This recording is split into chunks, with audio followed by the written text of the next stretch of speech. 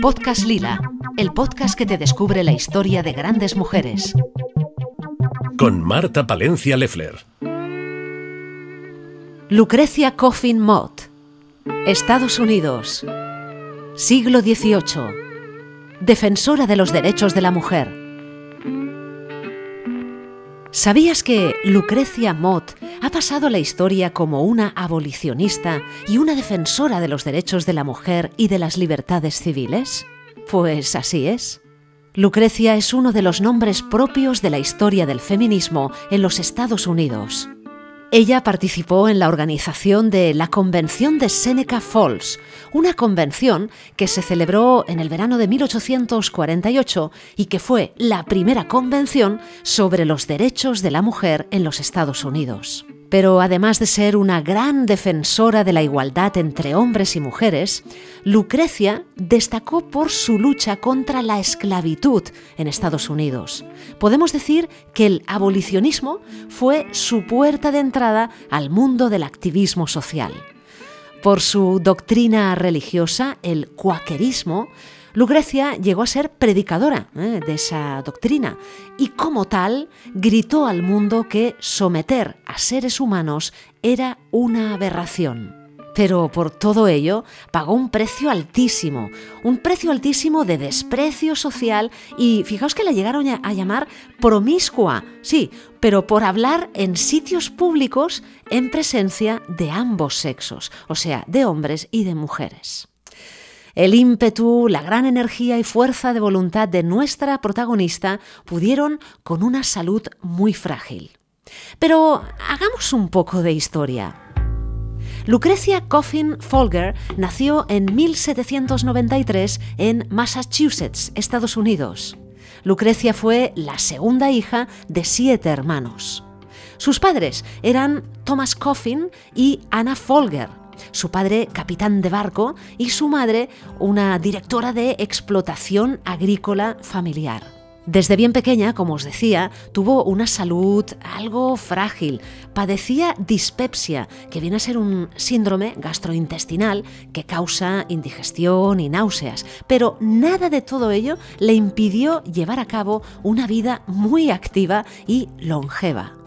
Lucrecia creció en el seno de una familia cuáquera, entendiendo por cuáquerismo la doctrina religiosa protestante que se caracteriza por la simplicidad del culto, por su rigor moral, por la condena del lujo y por la creencia en la igualdad de todos los seres humanos ante Dios. Este pensamiento cuáquero va a ser determinante en la formación de sus ideas. A la edad de 13 años, Lucrecia inicia su educación formal en una escuela en Dutchess County, en el estado de Nueva York, donde se gradúa.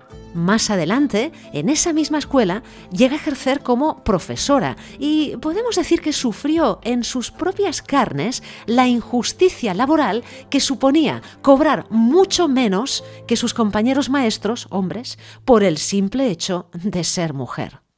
Por ejemplo, se encontró con rechazo por parte de sus mismos compañeros del movimiento abolicionista. Fue criticada pues por hablar en público, por asumir roles de mando y, en general, por participar en la vida pública. Y es que era una mujer. En la escuela, donde trabajaba como maestra, Lucrecia conoció al que sería su marido, el también profesor James Mott, de ahí su apellido, y con él compartiría una intensa carrera activista en favor del abolicionismo, de los derechos de las mujeres y de las libertades civiles. Lucrecia se casó con James en 1812 y llegó a tener seis hijos, aunque hemos de decir que perdió al primero con tan solo cinco añitos. Unos diez años más tarde, Lucrecia y su marido se mudan a Filadelfia, cuna, un poco podríamos decir, de varias revoluciones ideológicas. Y la casa que tuvieron allí, Lucrecia y su marido, se convirtió en un refugio para esclavos prófugos a los que acogían en su hogar y a muchos de ellos también ayudaban a huir a través de una red clandestina llamada ferrocarril subterráneo. Además, su hogar se convirtió en un centro de debate sobre la igualdad entre hombres y mujeres de cualquier raza. Allí en Filadelfia, nuestra protagonista fue nombrada ministra o predicadora cuáquera. Recordemos que los cuáqueros eran abiertamente antiesclavistas. Sus sermones, sus alegatos, empezaron a volverse muy populares por la manera enérgica y por esa gran convicción con la que Lucrecia encaraba su lucha contra los esclavos. Y es que os he de decir que además de denunciar la utilización de esclavos en las plantaciones, Lucrecia se negó siempre a comprar productos que habían sido fabricados con mano de obra esclava, por ejemplo, pues tela de algodón, caña de azúcar y otro tipo de productos similares. Y Lucrecia reclamaba una reforma moral de la sociedad. Cuentan que era gran oradora, una mujer que se atrevió a romper muchas normas, porque que una mujer se atreviera a hablar en público desafiaba no solo la causa abolicionista y posteriormente feminista, sino el patrón de conocimiento de la sociedad, que era de una raíz claramente patriarcal. Lucrecia ya contaba con cierto reconocimiento como abolicionista y por allá en 1833, con el apoyo de su marido, fundan la Pennsylvania Anti-Slavery Society, la Sociedad Antiesclavista de Pensilvania.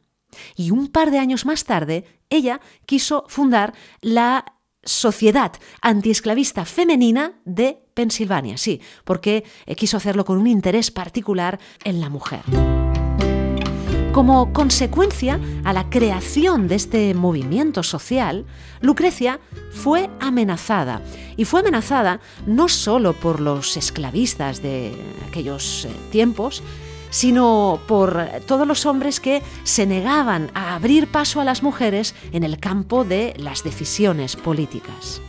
Deciros que nuestra protagonista fue públicamente abucheada y que fue objeto de desprecio llegando incluso sus rivales a lanzar desperdicios a la puerta de su domicilio.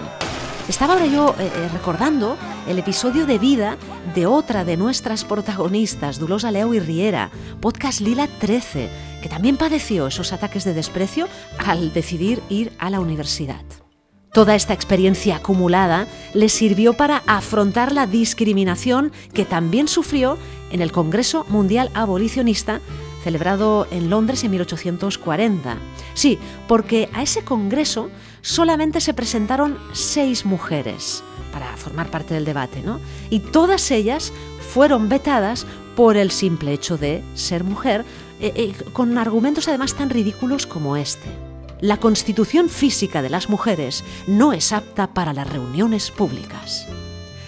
En ese congreso y por decisión de la mayoría de los delegados hombres, pues todas las mujeres tuvieron que sentarse en un área apartada ¿eh? del evento, o sea, primero en la parte de atrás del auditorio, tras un cortinaje, y tras la protesta y con el apoyo de tres hombres, se las ubicó algo mejor. Tanto es así que, al final del encuentro, se incluyó a Lucrecia en la pintura conmemorativa de esa convención.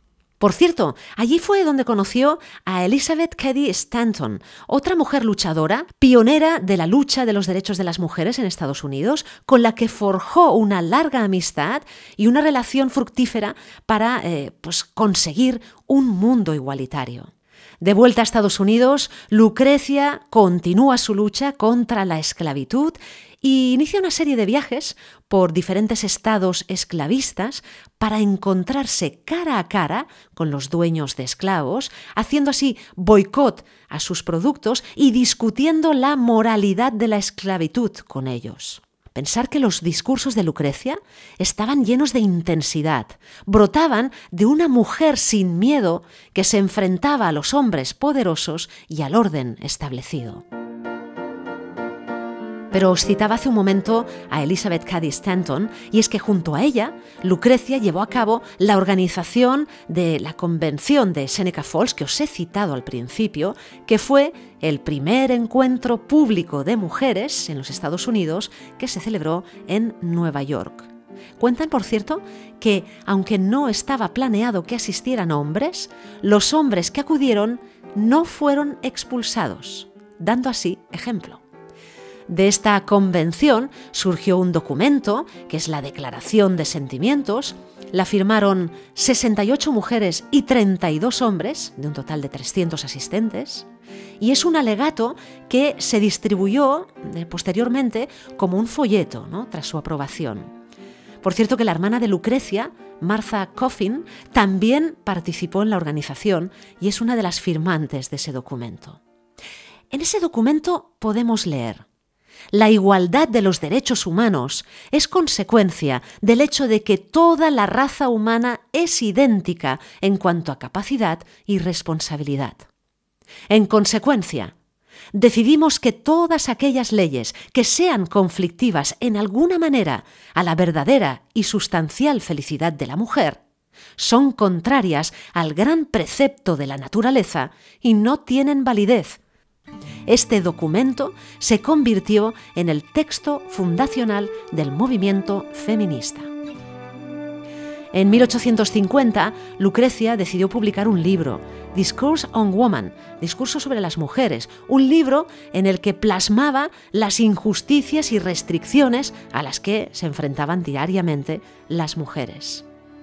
A partir de 1865, el año en el que se celebró por fin el final de la esclavitud en Estados Unidos, Lucrecia empezó a volcar sus esfuerzos en el sufragismo, esto es, en el derecho a votar para las mujeres y personas de raza negra.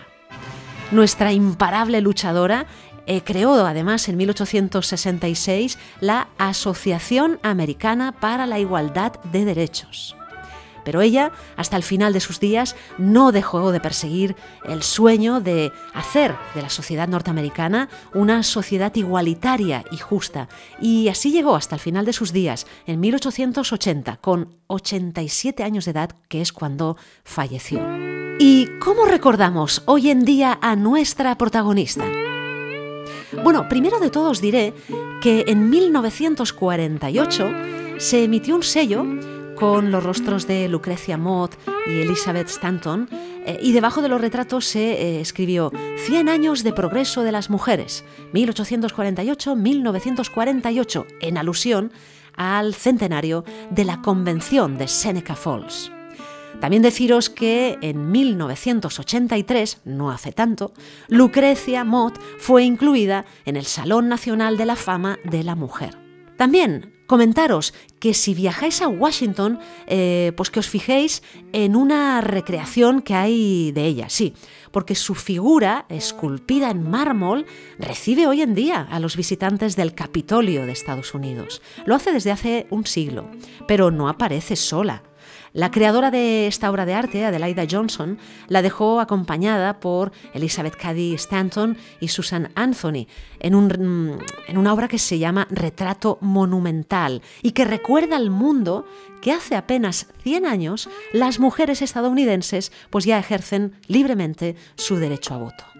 Y por último, comentaros que, ya que en este podcast lila de hoy nos hemos ubicado en Estados Unidos, os quiero recomendar el podcast lila 58 sobre la jueza Ruth Bader Ginsburg, otra mujer que hace muy poquito nos dejó y que durante el siglo XX y XXI fue una incansable defensora de la igualdad de todos los seres humanos. Fijaos que eh, todavía tenemos mucho, mucho, mucho camino por recorrer.